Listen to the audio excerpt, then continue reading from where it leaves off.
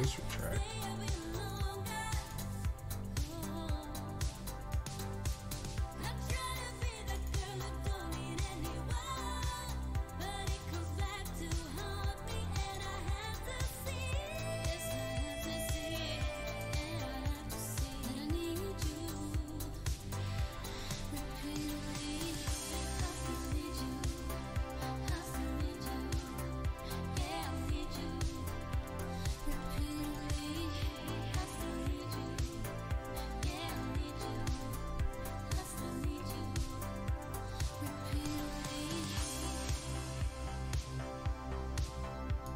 Check that out.